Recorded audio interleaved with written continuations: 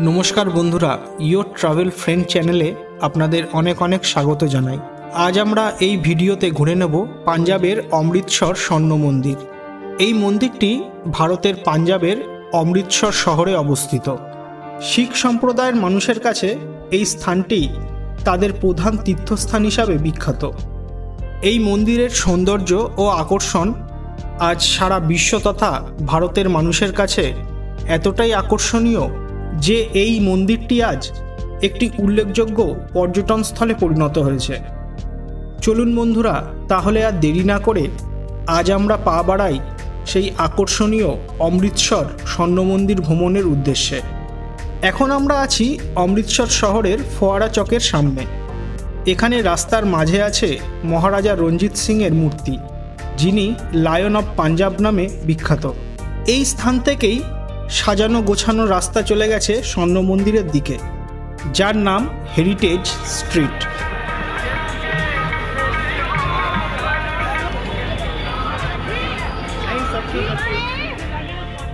পাঞ্জাবের সভ্যতা সংস্কৃতি এবং ঐতিহাসিক ঐতিহ্যে ভরা এই রাস্তা ধরেই আমরা এগিয়ে যাব সামনের দিকে।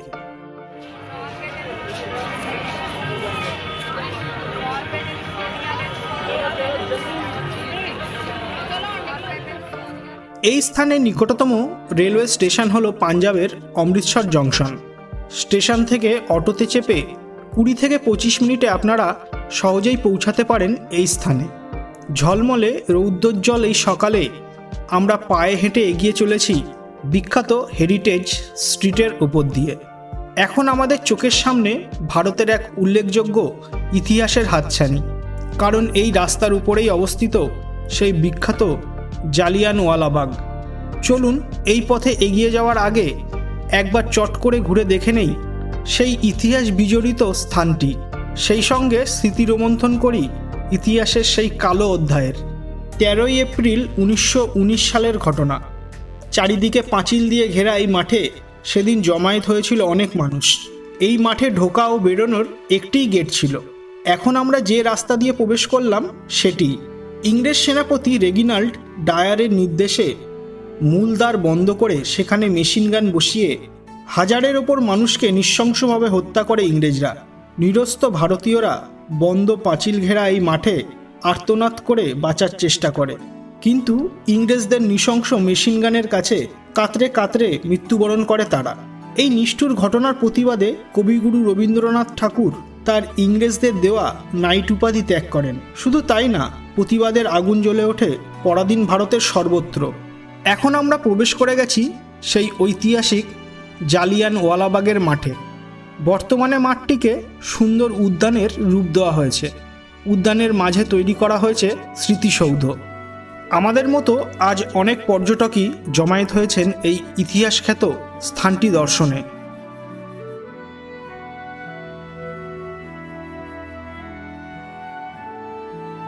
ভারত আজ স্বাধীন হলেও ইতিহাসের গভীর ক্ষত আজও অক্ষত জালিয়ান ওয়ালাবাগের পুরনো প্রাচীরের দেয়ালে।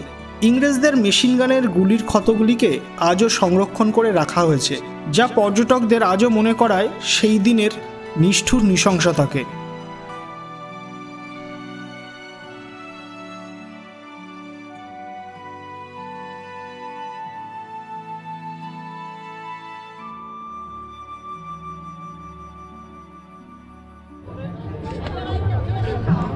जाना सर वाघा बॉर्डर जाओगे जी वाघा बॉर्डर बॉर्डर के लिए गाड़ी Wagah border Wagah border Wagah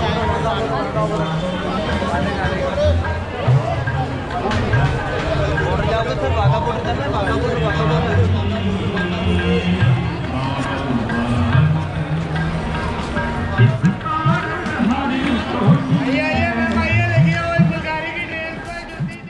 Jallianwala Bagh থেকে বেরিয়ে বাম দিকের রাস্তা ধরে আমরা আবার এগিয়ে চলেছি স্বর্ণ মন্দিরের উদ্দেশ্যে। জালিয়ানওয়ালাবাগের সামনে অনেক গাড়ির এজেন্ট পাবেন, যারা খুব সামান্য মূল্যে পাকিস্তানের ওয়াগা বর্ডার ঘুরিয়ে আনেন। আপনারা চাইলে এখান থেকে বুকিং করে সেই ওয়াগা বর্ডার ভ্রমণ করে নিতে পারেন। সেই সঙ্গে বর্ডারে অনুষ্ঠিত রিট্রিট সেরিমনি অনুষ্ঠানটিও বিনামূল্যে দেখে নিতে পারেন আপনারা। ভিডিওর ওপরে আই বাটনে ক্লিক করে আপনারা সেই ওয়াগা বর্ডার ভ্রমণ ভিডিওটি দেখে নিতে পারেন। নিচে ডেসক্রিপশানেও আমি সেই ভিডিও লিঙ্ক দিয়ে দেবো। আপনারা সেখান থেকেও ভিডিওটি দেখে নিতে পারেন। ইতিমধ্যে কিন্তু আমরা অমৃতসর স্বর্ণ মন্দিরের খুবই কাছাকাছি চলে এসেছি। দূরে দেখা যাচ্ছে মন্দিরের প্রবেশের মূল দ্বার। চলুন আমরা এগিয়ে যাই সামনের দিকে।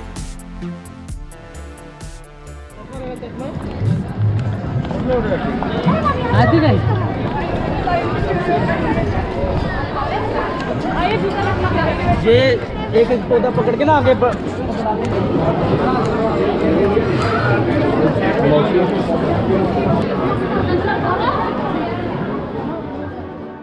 মন্দিরের বাইরে আছে জুতো রাখার সুন্দর বন্দোবস্ত এখানে জুতো জমা রেখে খালি পায়ে আপনাকে প্রবেশ করতে হবে মূল মন্দির চত্বরে সেই সঙ্গে এটাও বলা দরকার এই মন্দিরের সব পরিষেবা মানুষের সেবার অঙ্গ তাই সব কিছুই পরিষেবা বিনামূল্যে গ্রহণ করতে পারবেন আপনি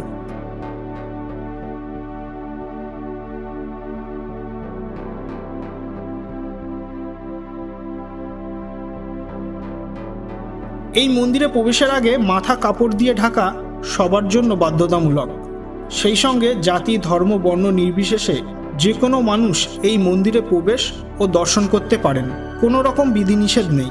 শিখ ধর্মের প্রতি সঠিক সম্মান দেওয়াটাই যথেষ্ট এই মন্দির ভ্রমণের জন্য। মন্দিরের বাইরে বিশাল পাথর বাঁধানো মন্দির চত্বরের উপর দিয়ে হেঁটে চলেছি আমরা। সামনেই দেখা যাচ্ছে মন্দিরে প্রবেশের মেন গেট তাহলে চলুন আমরা প্রবেশ করি মূল মন্দিরের মধ্যে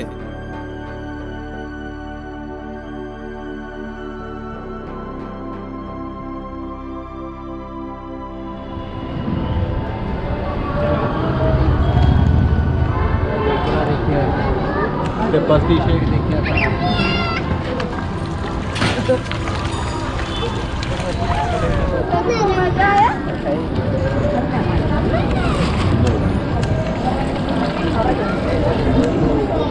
ऐसा वैसा हो वाहेगुरु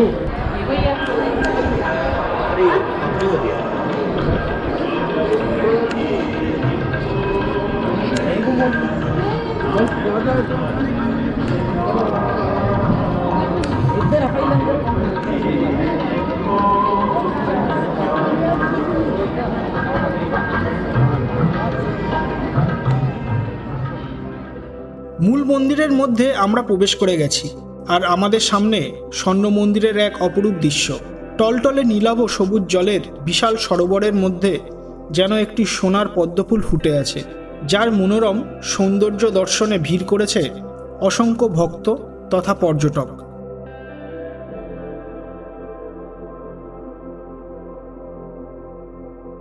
অমৃতসর স্বর্ণ মন্দির মূলত হলো একটি শিখ গুরুদ্বারা।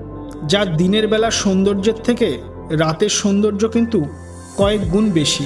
আপনারা নিজেরাই সেই সৌন্দর্য উপভোগ করুন এই ভিডিওটির মাধ্যমে।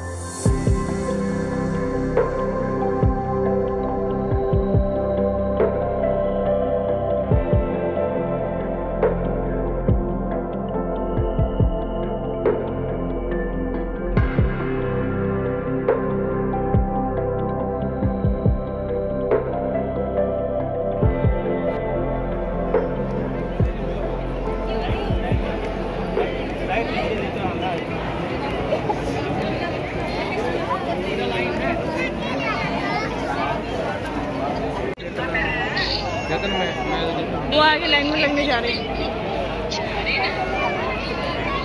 दस बजे लाइन खत्म हो जाएगी ना फिर? चलो।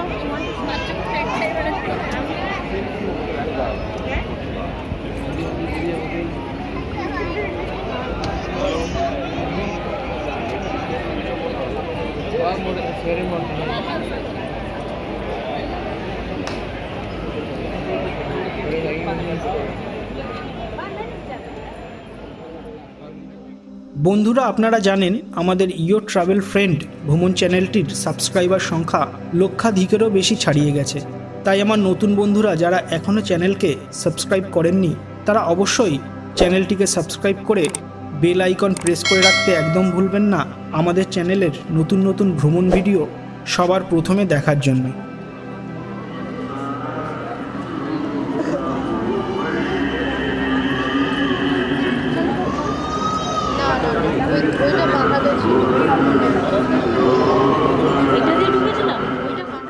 সারা বিশ্ব তথা সাধারণ পর্যটকদের কাছে এই মন্দিরটি স্বর্ণ মন্দির বা গোল্ডেন টেম্পল নামে পরিচিত হলেও এই মন্দিরের আসল নাম হল হরমন্দির সাহেব।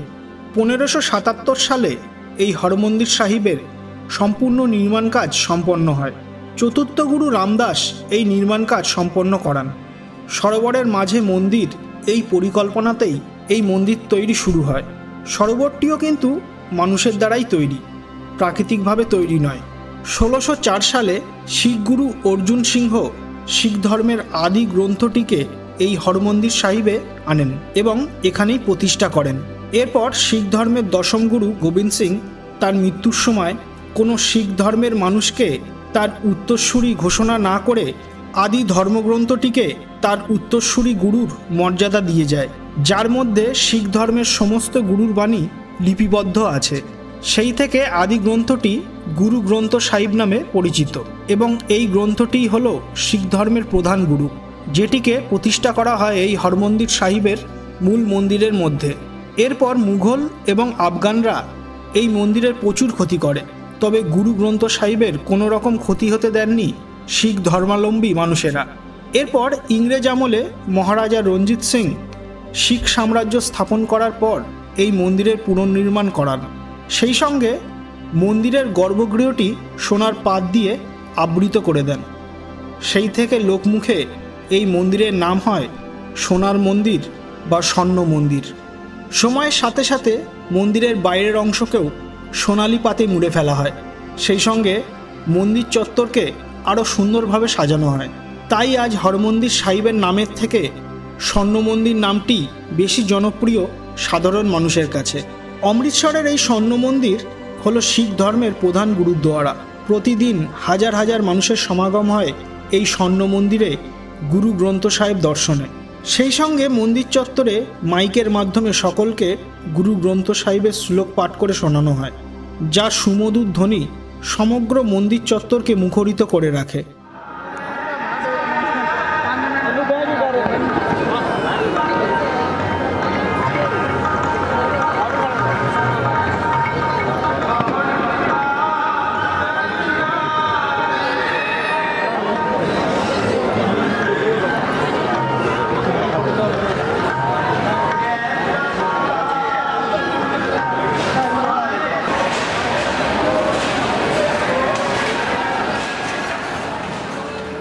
মন্দিরের মধ্যে আছে ভারতের সব থেকে বড় লঙ্গরখানা, যেখানে প্রতিদিন লক্ষাধিকেরও বেশি মানুষ বিনামূল্যে ভোজন গ্রহণের মাধ্যমে সেবা নিয়ে থাকে।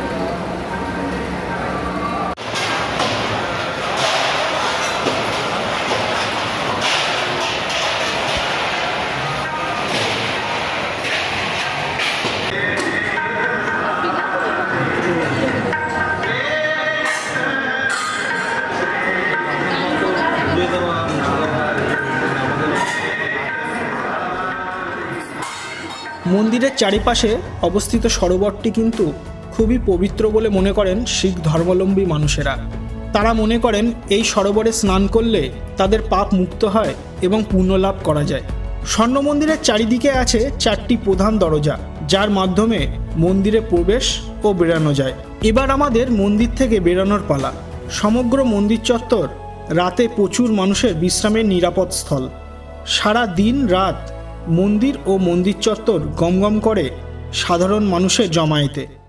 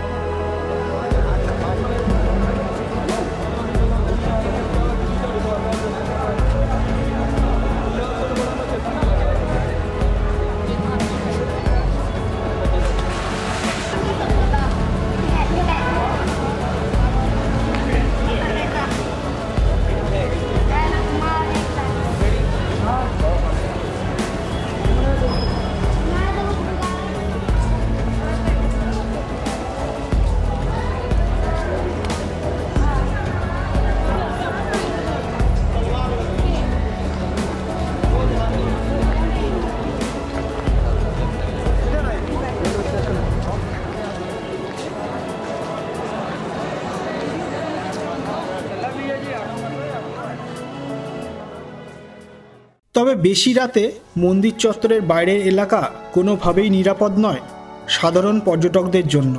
চুরি ছিনতাই প্রায় হয় নতুন আগত পর্যটকদের সাথে। তাই বেশি রাতের আগেই নিরাপদ স্থানে ফিরে আসাটা ভালো। বন্ধুরা, অমৃতসর স্বর্ণ মন্দির ভ্রমণ ভিডিওটি আপনাদের কেমন লাগল কমেন্ট করে অবশ্যই জানাবেন। ভিডিওটি ভালো লাগলে লাইক, কমেন্ট ও শেয়ার করবেন। সেই সঙ্গে ইয়োর ট্রাভেল ফ্রেন্ড ভ্রমণ চ্যানেলটিকে সাবস্ক্রাইব করে বেল আইকন প্রেস করে রাখতে একদম ভুলবেন না। আমাদের চ্যানেলের নতুন নতুন ভ্রমণ ভিডিও সবার প্রথমে দেখার জন্যে। দেখা হবে নতুন জায়গা নিয়ে পরের ভিডিওতে ধন্যবাদ।